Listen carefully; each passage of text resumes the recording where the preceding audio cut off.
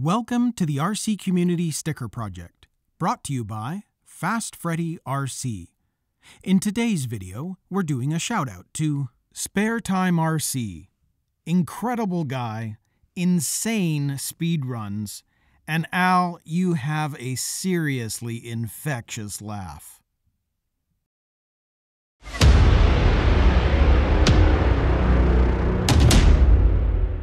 So for step 13, the front uprights. Well, we've got to grab these parts off the off the parts tree. We've got the ball connector, we've got some front axles, we've got bearings, we've got step screws, etc. for this step. So there are the pieces that we need off of the parts tree. And then of course we've got our step screws, ball connectors, front axles, and a couple of bearings. So I'll set this up and let's get to work. So I think for this step, let's start on this end. So we know that we need to grab one of these pieces here and based on how they're showing it, we know that there needs to be a ball connector on the underside. So again, I would use the box wrench, put it in there, and we know that it's going to attach like that. So I'm just going to spin that on and you can see that it's going in pretty level. So I'll just keep spinning that on until we get to the end.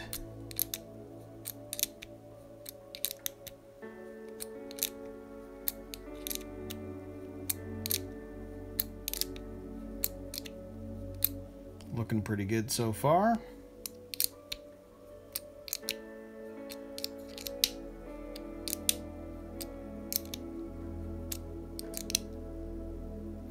And there we go. We're right to the end there.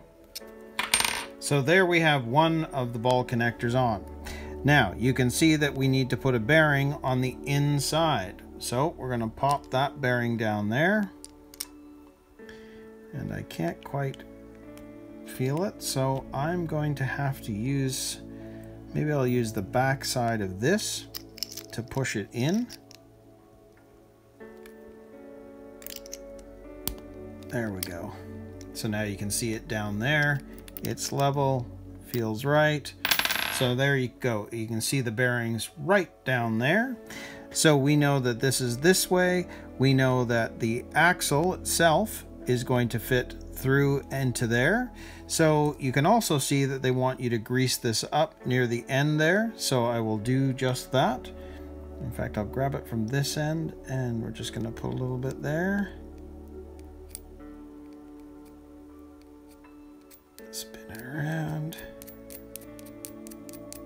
And I mean, I know we've put the ball bearings in, so maybe we don't need to do this part, but I'm not worried. I'm happy to do it. So we'll stick that inside there. So there we go. There is one of the front axles in. So put that to the side. Now we're going to grab one of these pieces here. And you can see that in terms of the positioning, it's got the you can see how it's inset. The top part is inset but it's not on the bottom. So you don't want to set this up this way because then it's at the bottom. We need that inset on the top so that it looks like that from the side. We need that on the top. So we're going to grab this and you can see that it's going to sit just like that basically. So we've got our step screws. Now you can see that they're wanting you to uh, grease that up as well. So we'll do that. We'll grease this up.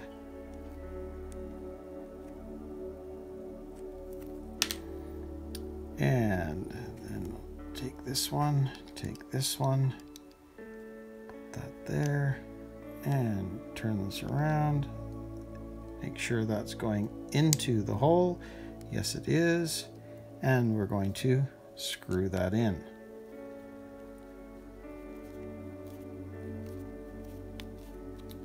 Now, I'm not going to screw it all the way in yet because I want to make sure that it's going in right. In actual fact, it's not. Notice it's slightly on an angle, so I'm going to unscrew that. And in fact, I think what I'm going to do is I'm going to make sure that the other one goes in first as well. So let's grab the other step screw.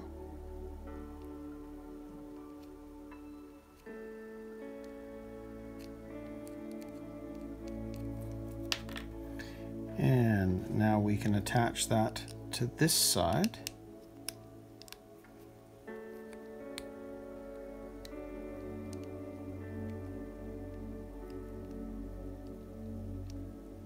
And I'm going to start screwing that in. I just want to see that it's going in correctly. So same thing with this. Now that that side is going in and is attached, I just want to make sure that that is going in properly as well, which it seems to be.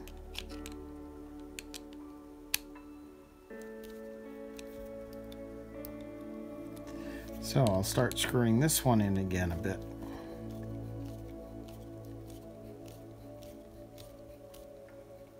And again, as soon as I get to the end, I'm not going to over tighten.